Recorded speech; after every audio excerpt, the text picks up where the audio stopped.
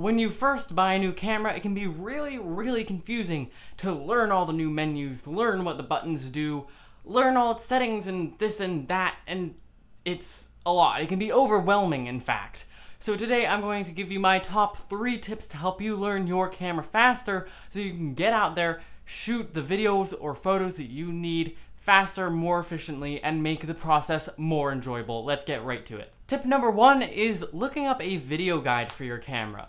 While the physical paper manuals that are often included in camera boxes can be helpful, they are, first of all, losable because they are physical and made of paper, also damageable, and also they have all that kind of convoluted and not super well organized information in them. You have to flip to the table of contents, look through its very vague table of contents, find the one you think is right, flip to that page, it is a mess. However, if you look up a video guide online on something like YouTube, and people like Tony and Chelsea Northrup and Jared Polin and other people make video guides for all sorts of popular cameras, then that information is usually very well organized and also has visual representations with them. And also the table of contents in these videos are generally much more well organized, much more clear, and you can just click on them and it takes you to the right spot in the video.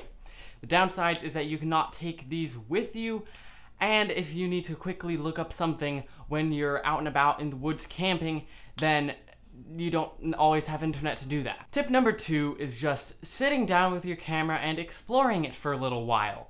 I know this can seem tedious and boring, but put on a podcast, an audiobook, or music while you do it. This is a great way to just familiarize yourself with how all the controls work, what menu settings are where, and Though it may not be incredibly quick, it can speed up your overall learning process, just like with the last one. And finally, the third tip for learning your camera more quickly is actually quizzing yourself on the different controls and menu settings of the camera. I know quizzes are the worst, however, they are helpful, they are there for a reason. And if you just write down a few controls and settings on a piece of paper and you go through the list, like Picture profile, oh, which button did I set that to? In my case, it's C2 on the Sony a7R IV.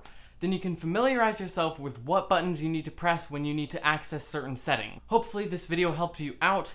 Tell us down in the comments, what's your favorite way to familiarize yourself with all the controls and settings of your camera? Please subscribe, and if you want to see more content by us, click this video right here. YouTube picked it out for you, so it should be pretty, pretty good. You should like it.